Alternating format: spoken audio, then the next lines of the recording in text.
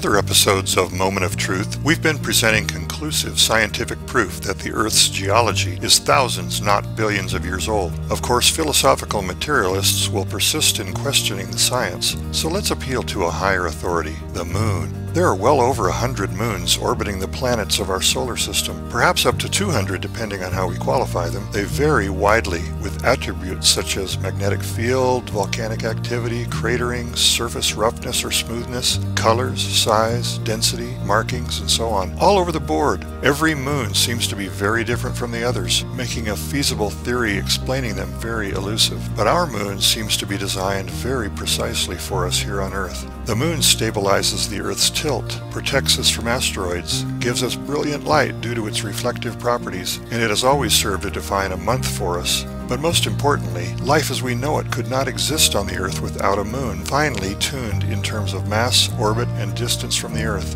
This is because the moon both causes and regulates the Earth's tides. It's the ebb and flow of the tides that filters and oxygenates the tidal regions of our oceans, making them the foundation of Earth's food chain. If the moon were slightly further away, the tides would be inadequate to accomplish this, but just slightly closer and the tides would overwhelm and erode away the continents. But we have some startling science that has been coming in since the Apollo moon missions. Several of the Apollo teams placed reflectors on the moon's surface to allow for very precise distance measurements between moon and Earth using lasers carefully pointed at these LLR reflectors. LLR stands for Lunar Laser Ranging and is one Apollo experiment that continues today. Over the years, years, it's been confirmed that the moon is on a trajectory that takes it about an inch and a half further away from the Earth each year. This lunar recession is caused by something called tidal friction and is due to the release of energy to the moon's orbit as the oceans give way slightly in the form of tides. This phenomenon actually slows the rotation of the Earth very slightly while widening the orbit of the moon. Now it's important to understand the way the math works. The recession rate of one and a half inches per year is decelerating, so the rate is getting smaller, not larger, which means that the moon was moving away faster in the past than it is now.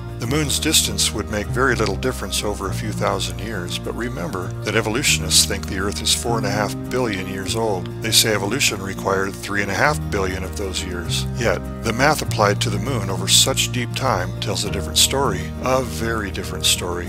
What happens if we try to rewind time less than half that amount? Based on the moon's trajectory, 1.3 billion years ago, the moon would have been touching the Earth. But there's more to this insanity. The distance of the moon has a major effect on our ocean tides. Rather than being a linear mathematical relationship, the tide force changes with the inverse of the distance cubed.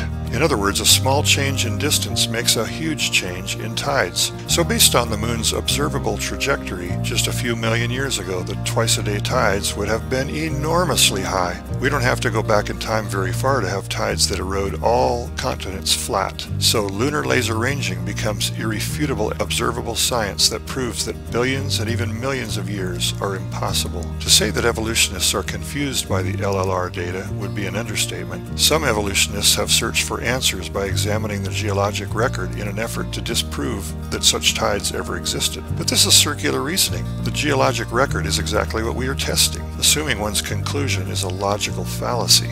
One other rescuing device employed by evolutionists is to fiddle with tidal friction in the past by trying different hypothetical arrangements of the continents in the distant past. The problem is that even when they invoke their wished-for rearranged continents, the most they can accomplish is to merely slide the problem out a bit further, rather than actually buying themselves anywhere near enough time for evolution to be possible.